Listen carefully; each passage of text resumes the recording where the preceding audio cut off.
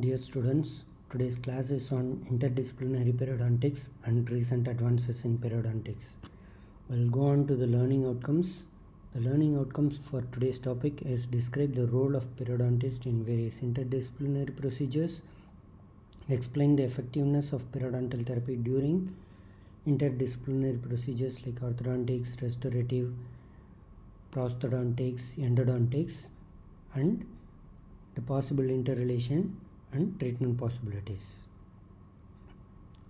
Coming on to the introduction, what is the importance of interdisciplinary dentistry and periodontics? The role of periodontics in interdisciplinary dentistry. The role of periodontics is to achieve a long term therapeutic target of comfort and ease of restoration and maintenance care, good functional treatment predictability and longevity of the treatment. The rationale of interdisciplinary dentistry is to achieve a long term therapeutic target of comfortable, good functional treatment predictability, longevity, and ease of restorative and maintenance care. Active periodontal infection must be treated and controlled before the initiation of restorative, aesthetic, and implant dentistry. So, the periodontal health is the sine qua non, a prerequisite for successful comprehensive dentistry. So, whatever interdisciplinary dentistry, the periodontal health is more important when it comes to interdisciplinary dentistry. So, what are all the things we are going to see in the role of periodontal periodontist in interdisciplinary dentist?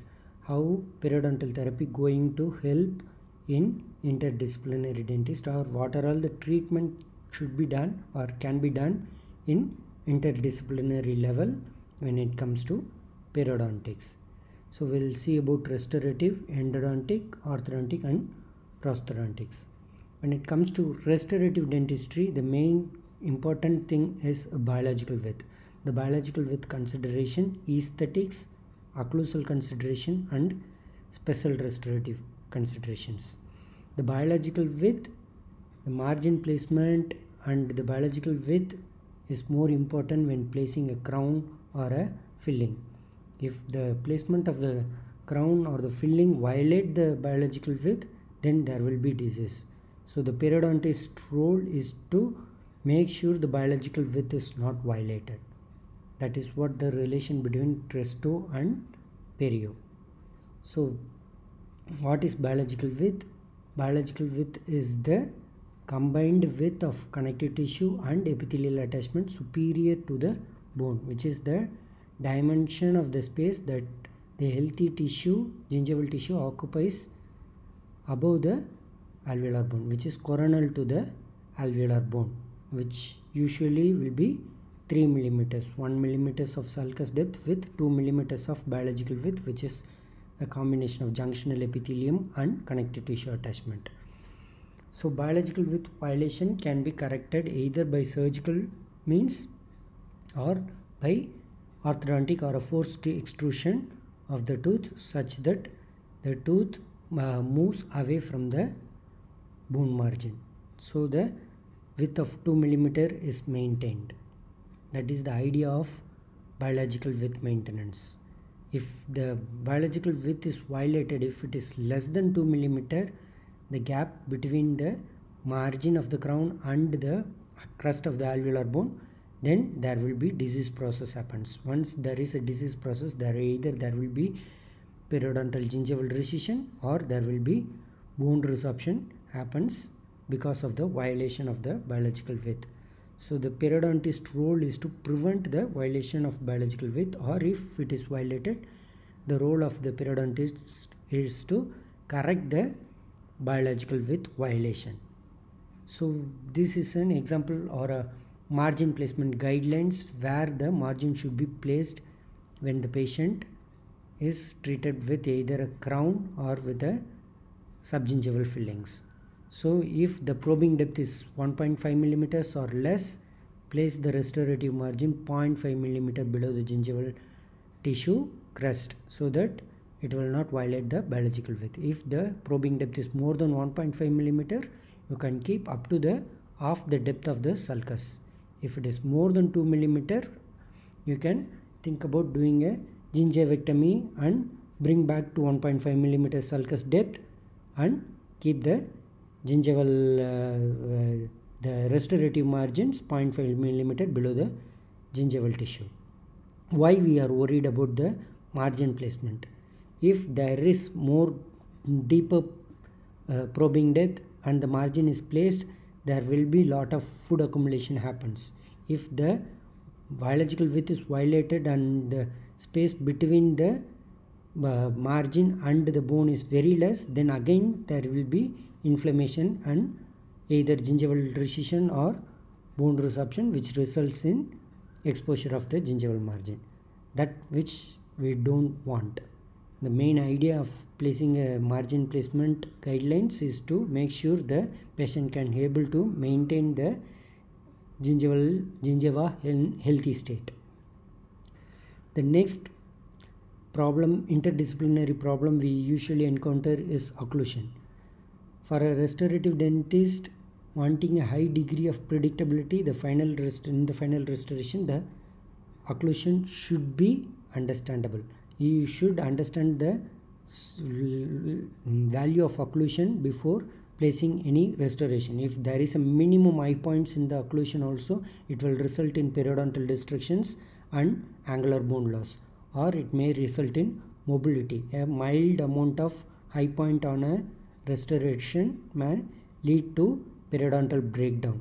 So occlusion is ma major role in periodontal disease also. So when it comes to occlusion you have to evaluate your restoration. It should not be any high points. And the periodontist role is to make sure the occlusion is in proper way so that it doesn't impair the periodontal health. Next interdisciplinary is endodontics perio endo management the classification stated that either it will be a primary perio or primary endo or combination of primary perio and primary endo with secondary perio or endo or combination of both. Okay so endodontic lesions can lead to periodontitis or periodontal lesions can lead to endodontitis. Both is possible. So the treatment should be followed based on the type of lesion if it is a primary endodontic lesion just by treatment of endodontic lesion alone will resolve the secondary periodontal lesion mm, produced by the primary endodontic lesion. If it is a primary periodontal lesion which resulted in endodontic uh, sequelae, then you have to treat endodontic lesion as well as periodontal lesion. Both has to be treated to get back to the healthy state. The next possible interdisciplinary relation is orthodontics. Orthodontic patients always perio plays a major role in orthodontic whether it is a pre-orthodontic periodontal treatment or post-orthodontic maintenance or maintenance of oral hygiene during the orthodontic procedures all the way from the beginning of the procedure until the end of the orthodontic treatment the patient should be monitored by a periodontist for its oral hygiene next interdisciplinary relation is prosthodontic when it comes to prosthodontics either it may be a pre-prosthetic surgery or a uh, procedure which requires RPD or a provisional denture which distributes the occlusion load. We have to decide what is the pericemental area of the periodontium, whether the periodontium is able to support the denture or removable denture or a fixed partial denture, whatever it is. So the periodontist role is to evaluate the status of the periodontium when it comes to prosthodontic management whether the patient requires any bone augmentation for ridge replacement or either soft tissue augmentation for ridge defects or it may be a periodontal evaluation for a prosthetic replacement of a missing tooth so the adjacent tooth has to be evaluated for periodontal status before you go for a removable or a fixed partial denture. This is the interrelation between restorative endodontics, orthodontics and prosthodontic department. So basically the resto departments all have an interrelation between each other. The second part of the class is recent advances in periodontics. When it comes to recent advances, we will think about what are all the recent, we are going to talk about what are all the recent advances in material aspect, instrument aspect, procedural aspects and what are all the future concepts. We'll start with material aspects. So materials used for regenerative therapy the newer materials whatever have been introduced are root biomodifying agents or guided tissue regeneration bone graft materials growth factors and soft tissue grafts. We'll see one by one what are all the newer materials available in each of this category. So we'll start with root biomodification. So root biomodification eh, we can use an EDTA, 24% EDTA root surface conditioning agent which is topically applied onto the exposed to root surface during periodontal surgery. The example or uh, commercially available product is a Pref gel. This is basically an instrument uh, material which is going to remove the smear layer from the root surface and enhance the formation of or regeneration of the cells in the disease to root surface.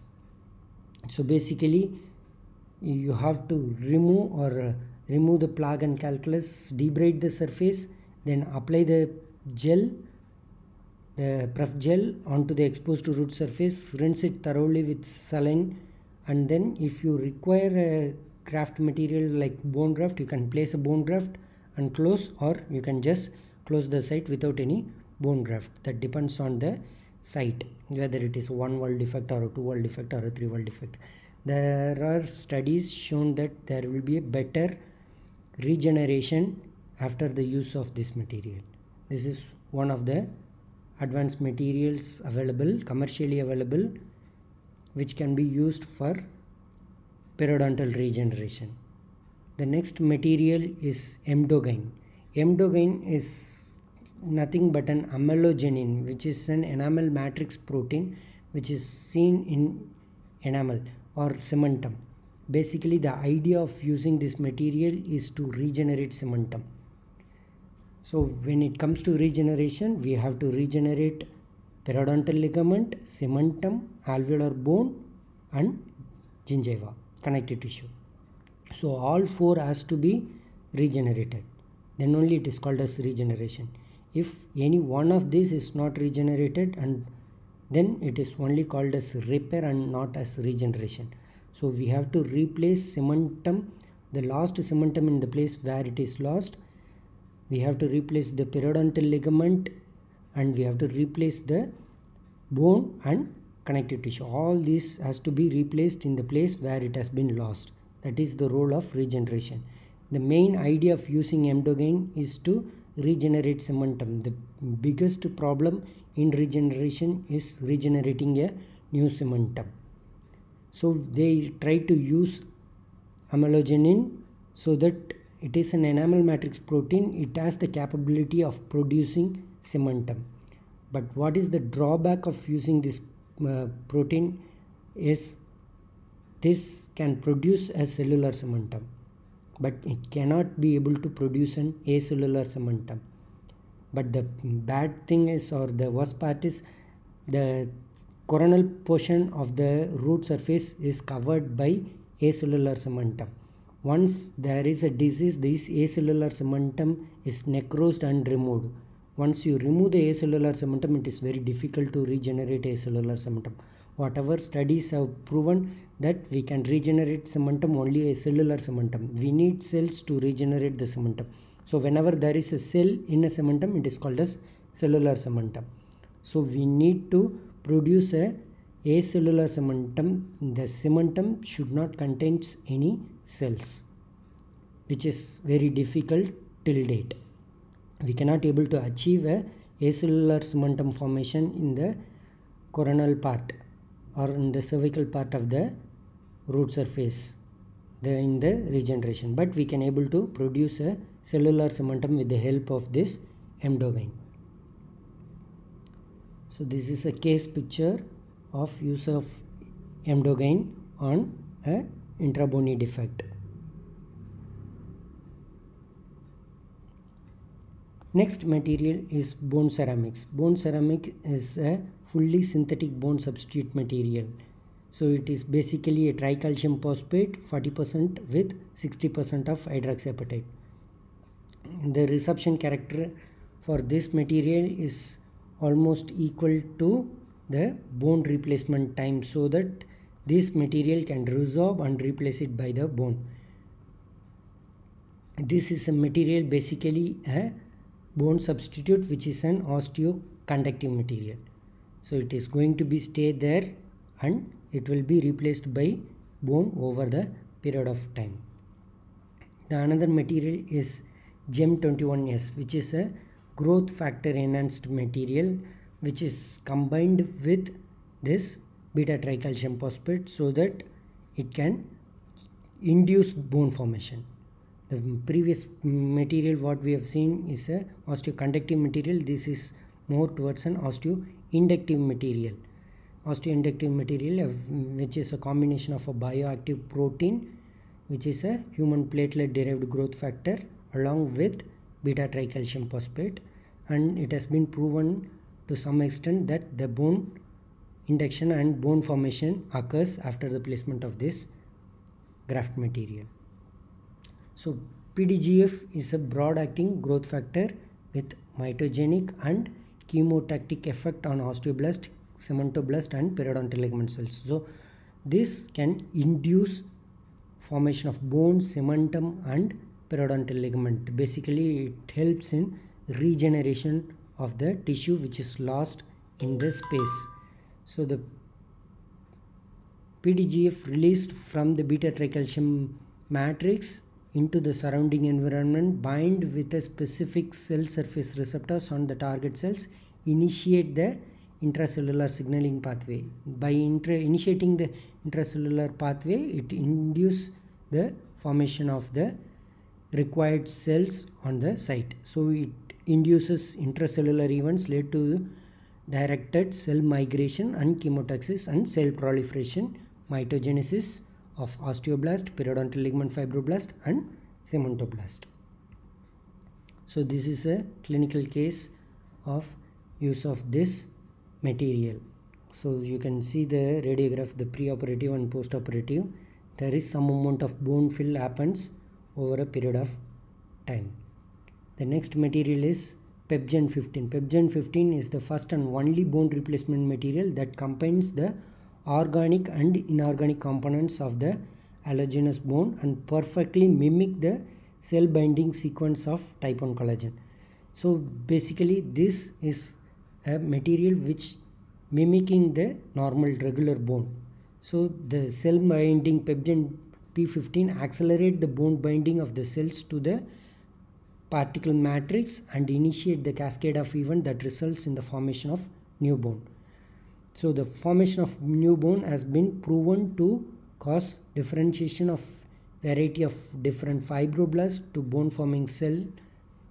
It supports the physiological process that result in the formation of new bone. So the PepGen 15 accelerate bone regeneration and within the healing process. So next material is AlloDerm. It is basically a soft tissue replacement graft material. So AlloDerm is an acellular dermal matrix derived from a donated human skin that undergoes a multiple steps process which removes both the epidermis and the cells that can lead to cell rejection. Basically this is a regenerative tissue matrix which is a acellular dermal matrix, a dermal matrix with removed all the cells. Only the collagen matrix have been made and which has been packed. So the regenerative tissue matrix AlloDerm provides matrix consists of collagen elastin vascular channels and protein that support revascularization cell repopulation and tissue modulation remodeling.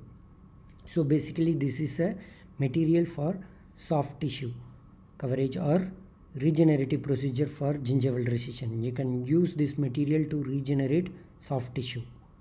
it is a very good material you can see a clinical photograph of use of this AlloDerm in a class 1 gingival recession case so the post-operative you can appreciate the difference between the pre-operative and post-operative picture next is soft tissue augmentation soft tissue ridge augmentation again you can use the AlloDerm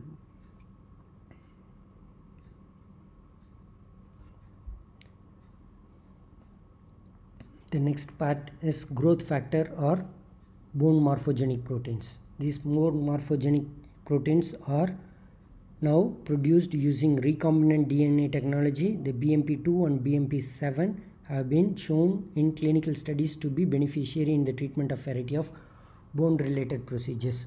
Basically, it is a bone morphogenic protein which is one, which is one of the protein which is responsible for bone regeneration, osteoblast activity. Once this protein, uh, this protein is the one which is going to initiate the um, polymorphin nucleus uh, neutrophils or the macrophages into modified into a osteoblast. Um, basically the pluripotent cell into a mesenchymal cell and a mesenchymal cell into a osteoblast. We need a osteoblast to induce bone formation. Basically this is on the line of bone formation.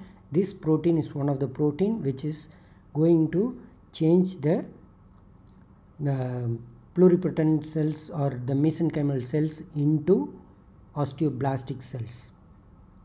So these materials are commercially available as a growth factors in bone regeneration.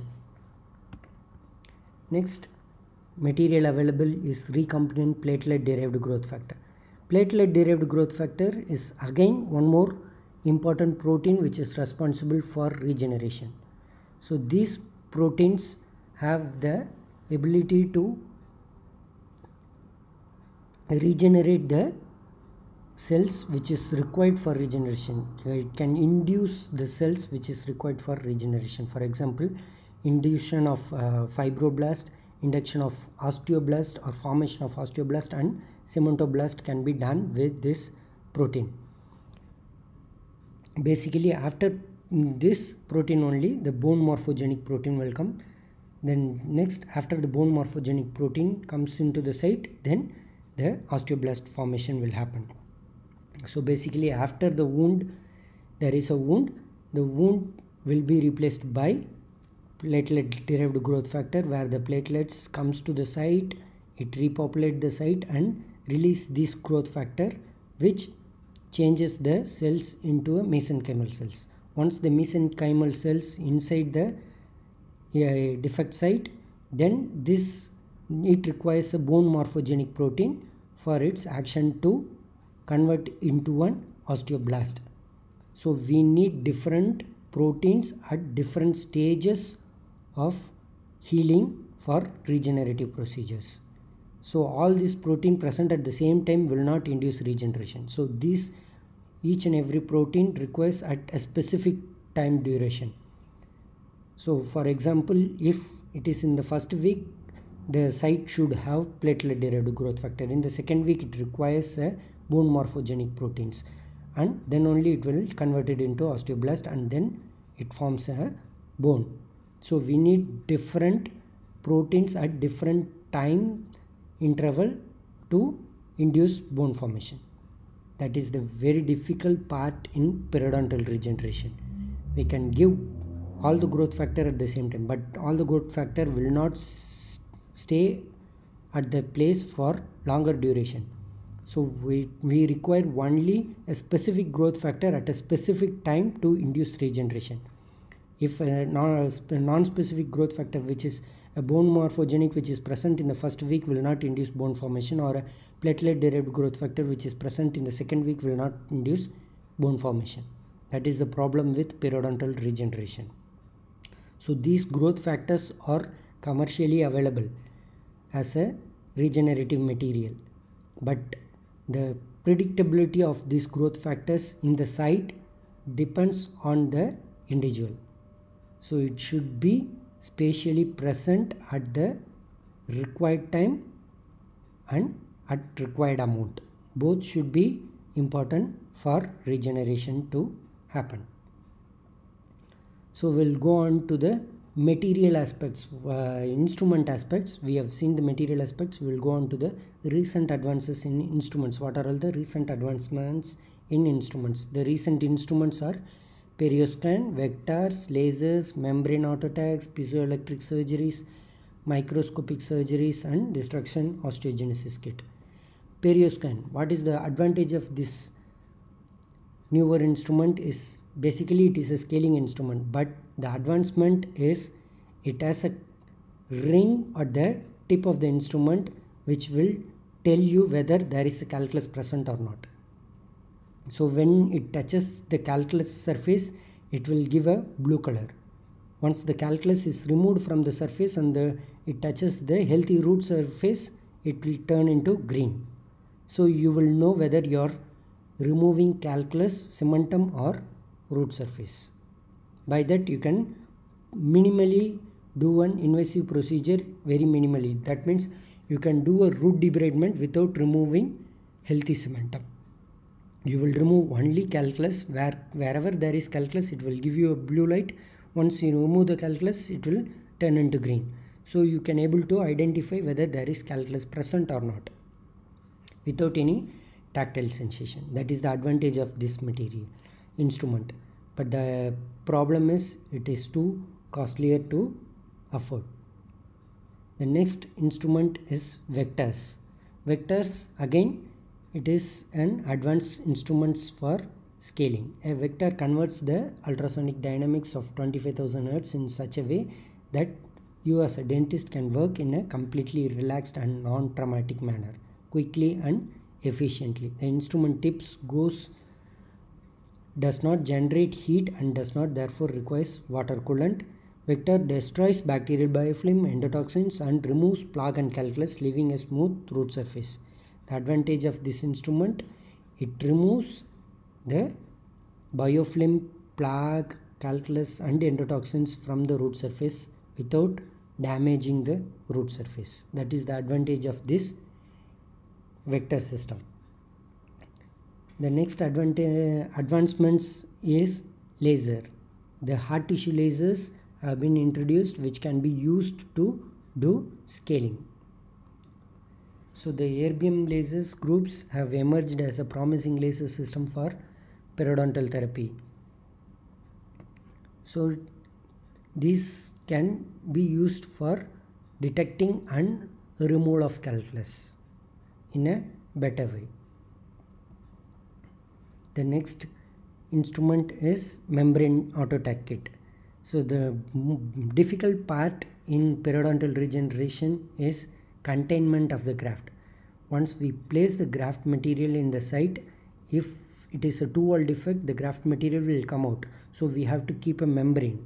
The problem with the membrane is the membrane should stay in the place for the period of the next 3 months or 6 months time so that the regeneration happens without any hassle. All most of the time the problem with what happens is this membrane will not stay in position for a longer time. Either it imbibe with the um, plasma fluids in the sulcus and it gets come out of the soft tissue or it dislodges from the site which results in failure of regeneration this is an instrument which is introduced to make sure the membrane is tagged onto the bone so that it stays in the place for the time period of regeneration. That is the advantage of this autotag kit. Kit. So it will make sure the membrane is placed in position for the time period of regeneration. Next advanced instrument is piezoelectric surgery. Uh, if you would have seen implant dentistry, you must have seen a physio dispenser and a instrument with a piezoelectric uh, surgical instrument or a drilling instrument you must have seen. So these piezoelectric surgical instruments are the advancements which uh, result in minimal injury to the soft tissue and maximize the surgical pre- pre- uh, precision and intraoperative sensitivity. So you can give a precise cut of bone or the soft tissue with the help of this piezoelectric surgical instruments. So the high frequency oscillation between 24,000 to 29,000 Hz modulated with a low frequency between 10 to 60 Hz enable efficient and controlled use and improve the healing of the tissue. So this is one of the advancements in surgical aspects. So with this help of this instrument you can cut the bone very precisely. Next advancement is microsurgeries. Periodontal microscopes can be used for microsurgeries. So the microsurgeries will help you in periodontal plastic and aesthetic surgery. See if you are planning to do a uh, in papillary reconstruction procedure. It is very difficult to do with a normal vision. You cannot achieve an 100% success rate of plastic surgery in papillary reconstruction or gingival root uh, recession coverage procedures. This is one of the advancements where you can use microscopes to do a periodontal surgery. So the ability to perform the surgery with greater precision making more precise incision and the ability to use smaller instruments that cause less trauma and faster post-operative healing. The precise tissue restructuring with smaller needles and stitches so very useful for soft tissue augmentation procedures mainly the perioplastic procedures a bit mm, a better view of radicular root surface and leading to a easier radicular root instrumentation in turns leading to more effective removal of local factors and correcting of bone defects can be done with the help of this microscopic surgeries. The next part is distraction osteogenesis. You must have heard this in orthodontics, this distraction osteogenesis. You can use distraction osteogenesis in perio also for ridge augmentation. You can distract the bone coronally so in distraction osteogenesis in ortho you should have uh, seen the uh, bone has been moved mesiodistally here we can move the uh, bone apicocoronally so vertical ridge augmentation can be achieved with the help of this distraction osteogenesis so coming on to the future trends what are all the future trends? The future can be recombinant growth factors and biomimicking agents gene therapies stem cell therapy and tissue engineering nanotechnologies. So we will see one by one. Gene therapy. It uses purified preparations of a gene or fractions of the genes to treat a disease. In periodontics use of platelet derived growth factor gene delivers and bone morphogenic protein delivery which can help in production of regeneration. So genetic approach to biofilm, antibiotic resistance or genetic therapy, periodontal vaccinations are some future trends but it's in primitive stage. Periodontal vaccination is really in primitive stage. We cannot able to eradicate all the bacteria through vaccine. The next is stem cell therapy and tissue engineering. The science of tissue engineering aims at the repair and of the damaged tissue as well as the creating a replacement of the lost one. So use of mesenchymal stem cells naturally residing within the bone marrow for true regeneration purpose. So the use of mesenchymal stem cells for regeneration have been tried. It is still under study. So we don't have an material directly available for the clinical use. Still it is in primitive studies. You can use mesenchymal stem cells the but the problem is again we need proteins for these mesenchymal stem cells to convert it into the required cell what we want for that site. For example if you want to grow bone you need platelet derived growth factor you need bone morphogenic protein at different time interval along with this mesenchymal stem cell to convert into an osteoblast. So for this MSC to convert into an osteoblast you need proteins. Those proteins should be available at the required time. That is the difficult part in uh, getting this study done. Next is tissue engineering procedures, either passive or active tissue engineering. Passive tissue engineering where therapies based on guided tissue replacement, barrier membranes, biologically based acellular dermal matrix, all these are already available and future enhancements they are trying with this passive engineerings and active engineerings like enamel matrix derivatives, amlogen, the emdogain, the growth factors, beta tricalcium phosphate with platelet derived growth factors collagens all these have been tried and under research. The final part is nanotechnology uses of nanomaterials. So nanomaterials are those materials with components less than 100 nanometers in at least one dimension including clusters of atom grains less than 100 nanometers in size or fibers that are less than 100 nanometers in diameter, films less than 100 nanometers in thickness or nanoholes and composites that are a combination of this. So nanomaterials for periodontal drug delivery, example triclosan, nanospheres or chlorhexidine nanoparticles are been in trials. So nanomaterials for periodontal tissue engineering is still under study. These materials can help in periodontal regeneration and periodontal maintenance. So to conclude, repair of periodontal tissue destruction caused by periodontitis is a major goal for regenerative therapy. There will be limited success achieved by utilizing various general approaches such as use of bone substitutes, bone grafting procedures and cell occlusive barrier membranes. Many research are being conducted in cooperation with various technologies, materials and procedures to achieve a true complete regeneration of lost periodontal structures. The basic aim of periodontal regeneration is to regenerate all the structures which has been lost due to disease. Either it is a periodontal ligament, bone, cementum or a connective tissue. All has to be replaced. Then only it is called as regeneration. So the research or keep going on based on this aspect.